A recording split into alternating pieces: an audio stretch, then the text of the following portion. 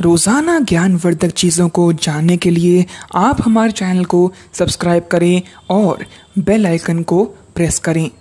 नमस्कार दोस्तों, जय माता दी। दोस्तों, हिंदू धर्म में पूर्णिमा को सबसे महत्वपूर्ण बताया जाता है। हर महीने आने वाली पूर्णिमा पर न सिर्फ़ लोग व्रत रखते हैं, बल्कि पूरे विधि विधान से पूजा अर्चना भी करते हैं। चैत्र मास की पूर्णिमा को सबसे महत्वपूर्ण पूर्णिमा माना जाता है। इस बार चैत्र पूर्णिमा अप्रैल महीने की आठ तारीख को पड़ रही है। लेकिन दोस्तों, कोरोना वायरस के चलते इस पूर्णिमा पर लोग ना किसी पवित्र नदी में स्नान करने जा पाएँगे और ना ही किसी मंदिर दर्शन के लिए जा पाएँगे। इस बार पूर्णिमा पर लोगों को घर पर रहकर ही पूरे विधि विधान से पूजन करना होगा। लेकिन दोस्तों, इस पूर्णिमा की सबसे खास और महत्वपूर्ण बात आपको हम बताना चाहेंगे कि इस बार इस पूर्णिमा के दिन हनुमान जयंती का पर्व भी मनाया जाएगा। जी हाँ। जी हाँ दोस्तों 8 अप्रैल को हनुमान जयंती का पर्व भी मनाया जाएगा। इस दिन जहाँ भक्त हनुमान जी की भक्ति में लीन रहेंगे, वहीं आसमान में एक अद्भुत नज़ारा दिखेगा। क्योंकि दोस्तों, इस दिन सुपर मून नज़र आएगा। चैत्र पूर्णिमा पर दिखने वाला ये चाँद आम आकार से बड़ा और ज़्यादा चमकीला नज़र आएगा। माना जा रहा है कि ये साल का सबसे बड़ा और सबसे अधिक चमकीला चाँद होगा। वहीं दोस्तों, अप्रैल में नज़र आने वाले इस सुपर मून को पिंक मून भी कहा जा रहा है। इस तरह 8 अप्रैल को नज़र आने वाले चाँद को सुपर पिंक मून का नाम दिया गया है। दोस्तों, मान्यता है कि चैत्र पूर्णिमा के दिन भगवान हनुमान जी का जन्म हुआ था। इसी वजह से चैत्र पूर्णिमा का महत्व और भी ज़्यादा बढ़ जाता है। लोग इस दिन सत्यनारायण की कथा के साथ हनुमान भजन और पूजन भी करते हैं। इस दिन दान पुण्य का भी बेहद ज़्यादा महत्व होता है। इसलिए दोस्तों, आप इस दिन खास तौर पर गरीब और ज़रूरतमंद लोगों को दान अवश्य करें, क्योंकि दोस्तों, इस दिन दान करने से उसका फल कई गुना बढ़ जाता है। दोस्तों, बता दें कि हनुमान जयंती और चैत्र पूर्णिमा के संयोग का लाभ कुछ राशि वालों को मिल सकता है।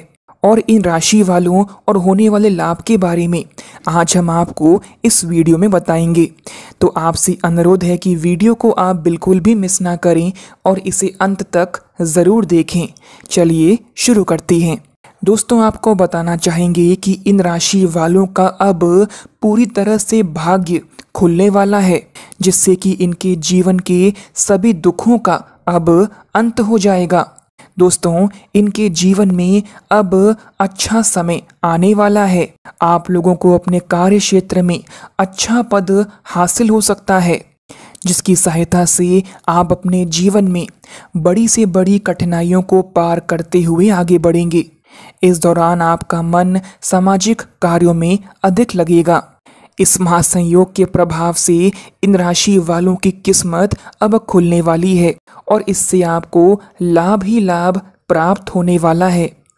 बता दें कि आपके जीवन में सभी सुख सुविधाएँ आपको हनुमान जी प्राप्त करवाएँगे और आपको किसी भी चीज़ की कमी बिल्कुल भी नहीं होगी। इन राशि वालों को आने वाले समय में कई सारी बड़ी खुशखबरियाँ मिलने वाली हैं। जिससे कि इनके जीवन में खुशियाँ ही खुशियाँ इन्हें प्राप्त होंगी। इस दौरान जो भी आपसे मिले, आप उनके साथ विनम्र और सुखद व्यवहार करें। प्रेम संबंधों के लिए भी यह दिन आपके लिए अच्छा रहेगा। आपके जो भी कार्य लंबे समय से अटके पड़े थे, वे सब आने वाले दिनों में आसानी से पूरे होते जाएँगे।